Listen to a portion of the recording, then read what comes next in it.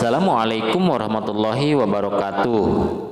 Pada kesempatan kali ini di channel YouTube Wafi Mikrotia Kids, kami akan coba menghadirkan sejarah tentang bendungan Pamarayan lama dan bendungan Pamarayan baru di Kabupaten Serang, Provinsi Banten. Bendungan Pamarayan lama dibangun sekitar tahun 1905 dan selesai pada tahun 1925.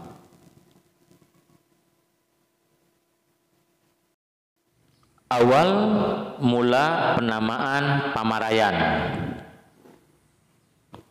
Ketika proses pembayaran yang tidak adil terhadap para pekerja yang menimbulkan konflik di masyarakat saat itu Semakin lama keributan tersebut semakin tak terkendali hingga akhirnya konflik tersebut menjadi awal penyebutan daerah Pamarayan yang dikenal saat ini yang dalam bahasa Indonesia berarti pembayaran. Karena termakan usia, kini bangunan lama yang sudah tidak digunakan dan tergantikan dengan bendungan yang baru. Bendungan Pamayaran lama memiliki 10 pintu air yang dibangun oleh pemerintah kolonial dan menghabiskan sekitar 5 juta gulden yang memperkerjakan sekitar 200 ribu masyarakat Indonesia kala itu. Selain bangunan bendungan yang masih tersisa, di bendungan Pamarayan Lama terdapat pula ruang kontrol dengan sisa-sisa mesin kontrol yang masih ada Selain itu terdapat foto-foto hitam putih yang menunjukkan kunjungan Presiden pertama Indonesia Insinyur Soekarno sekitar tahun 1960-an. Hal itu membuktikan peran bendungan Pamarayan Lama cukup eksisi dan memiliki manfaat yang luar biasa pada saat itu. Bendungan Lama Pamarayan yaitu termasuk bendungan terbesar pertama yang dibangun oleh pemerintah Hindia Belanda di Indonesia.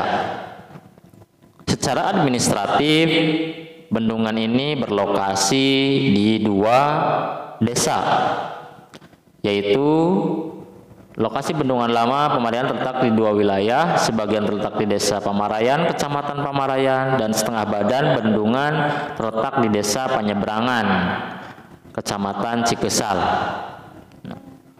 Kabupaten Serang, Provinsi Banten.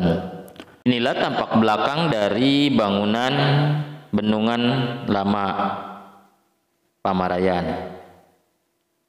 Bangunan masih tetap kokoh dan di sekelilingnya banyak tempat jajanan.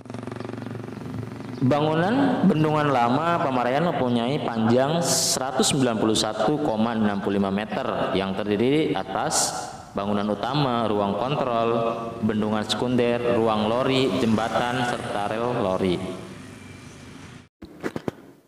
Bendungan gerak Pamarayan yang baru berlokasi tidak jauh dari bendungan lama. Bendungan Pamarayan baru dengan model bendungan gerak ini menggunakan teknologi modern, yaitu dengan menggunakan pintu gerak yang dikendalikan secara otomatis melalui tenaga listrik dengan daya yang tinggi. Bendungan Pamarayan memiliki delapan pintu air yang mengalir masing-masing dua kanal utama. Bendungan ini mengaliri air dari dua sungai besar di Banten, yaitu Ciberang dan Ciujung. Setiap hari, bendungan ini mengalirkan pasokan kebutuhan air untuk pertanian sekitar 21.350 hektar sekabupaten Serang. Untuk memantau debit air di bendungan ini terdapat dua ruang kontrol yang terus diawasi oleh penjaga biak pada musim kemarau maupun penghujan. Bendungan ini memasok kebutuhan air untuk berbagai daerah seperti Ciruas, Pamarayan, Keramat Watu, Pontang, Tirtayasa, Cikesal, Keragilan hingga Tanara. Bendungan baru ini merupakan bendungan pengganti dari bendungan lama. Bendungan ini selesai dibangun pada tahun 1997. Perbedaan bendungan baru ini terletak pada sistem operasinya yang mana menggunakan teknologi modern yaitu sistem gerak. Ini adalah kanal utama untuk pembagi air ke masing-masing wilayah. Ada hal unik dari kisah ini yaitu tentang bedolan Pamarayan. Hal yang paling menarik di mana ada satu waktu selama satu tahun sekali pintu bendungan tersebut dibuka dan biasanya masyarakat berbondong-bondong datang ke Pamarayan untuk menyaksikan prosesnya. Selain itu, sebagian masyarakat bersiap-siap di sepanjang sungai Cujung untuk menangkap ikan. Saat bedolan tersebut, biasanya banyak sekali ikan yang terbawa arus sungai. Oleh karena itu, Sebagian masyarakat yang tidak ke Pamarayan, mereka menunggu di sepanjang sungai dengan membawa perlengkapan seperti jaring, serokan, dan lainnya, yaitu bertujuan untuk mengambil ikan yang terbawa oleh arus sungai bendungan Pamarayan Baru. Itulah kisah sekelumit tentang bendungan lama dan bendungan baru Pamarayan. Semoga bisa memberikan edukasi untuk kita semua.